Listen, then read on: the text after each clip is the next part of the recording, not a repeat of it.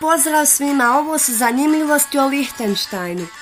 Lihtenštajn je državica smještena u sjevernom dijelu Alpa, između Švicarske i Austrije. Zapadni dio države je aluvijalna ravnica u dolini Rajne koja je gusto naseljena i obrađena. Ostale dvije trećine su planinske.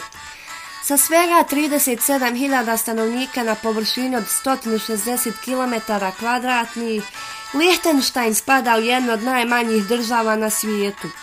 Iako mala, ova država posjeduje brojne kvalitete. Liechtenstein je jedna od dviju zemalja svijeta koje su sa svih strana okružene državama koje isto tako nemaju izlaza na more. Na području Lihtenštajna živi preko 50 vrsta sisara. U Lihtenštajnu se može naći i 1600 vrsta biljaka. Lihtenštajn je zemlja sa najnižom stopom kriminala na svijetu. Posljednje ubistvo se desilo 1997. godine. U zatvoru se na izdržavanju kazne nalazi svega nekoliko zatvorenika. Osuđenici kojima sud odredi kaznu dužu od dvije godine prebacuju se u susjednu Austriju.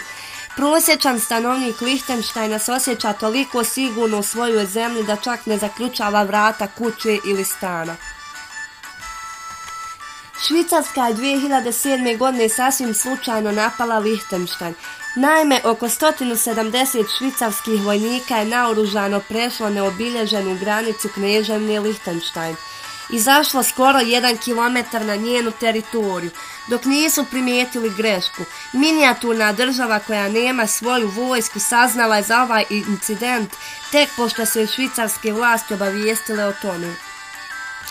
Svakog 15. augusta, kada Liechtenstein slavi svoj nacionalni praznik, vladajući knjez Hans Adam II i njegov sin princ Alois pozivaju sve stanovnike ove male knježevne da popiju pivo u bašti zamka Vaduz koji je rezidencija ove knježevske porodice.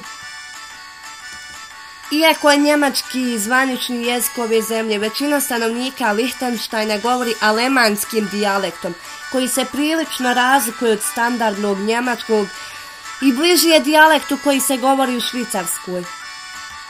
Prijestolnica Lihtenštajna, Vaduz, ima svega 5425 stanovnika i nije najveći grad u zemlji.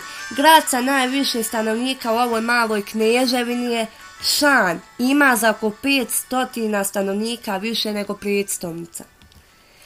Lichtenstein je vodeći proizvođač vjestačkih zuba. Smještena u minijaturnoj metropoli Šan, kompanija po imenu Ivoclar Vivadent proizvede oko 60 miliona pari vještačkih zuba godišnje, što čini 20 od 100 ukupne prodaje širom svijeta. 2011. godine postojala je mogućnost da se cijela zemlja iznajmi za 70.000 dolara za noć.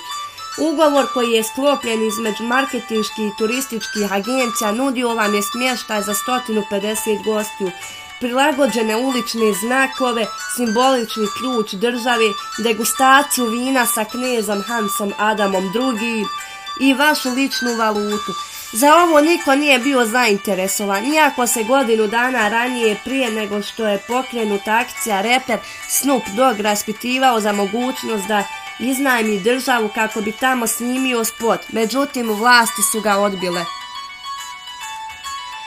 Himna knježevine Lichtenstein koja nosi naziv iznad mlade rajne usvojena je 1920. godine i koristi istu melodiju kao i himna Velike Britanije.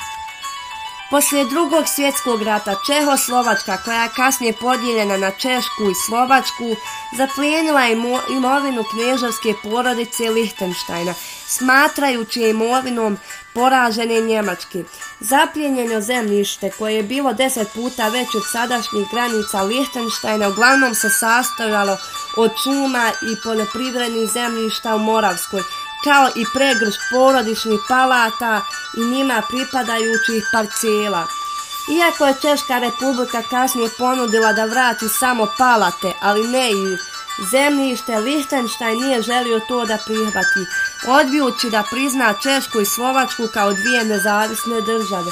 To je trajalo sve do 2009. godine kada je iz kabineta knjeza Hans Adama drugog saopšteno da Lichtenstein neće preduzimati nikakve zakonske mjere nad oduzetom imovinom, nakon čega su ove tri države ponovo uspostavile diplomatske odnose.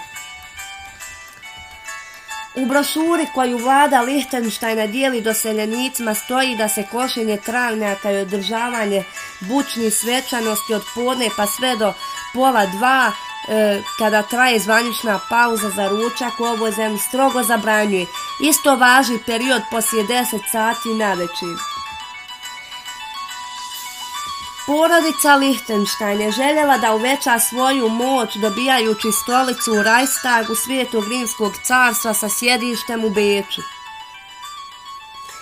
ali je to bilo jedino moguće ako posjeduju teritoriju koja se nalazi na teritoriju pomenute međudržavne tvorevne koja je postojala od 962. pa sve do 1806. godine i smatrana za nasljednicu antičnog rimskog carstva. To im je kasnije pošlo za rukom kada su od Habsburgovaca otkupili dvije minijaturne grofovije 1699. i 1712. godine i 1806. godine ih uzeli u rang knježavne koji su dali svoje porodične ime. Budući da je cilj postojanja ove knježavine bio samo da bi se dobila stolica u Rajstagu, Kneževi iz dinastije Lichtenstein nisu marili za nju, a prvi put će je posjetil tek poslije nekoliko decenija. Prvi knjez Lichtensteina koji je živio u ovoj zemlji bio je Franc Josef II, otac sadašnjeg knjeza koji se u nju doselio 1938. godine.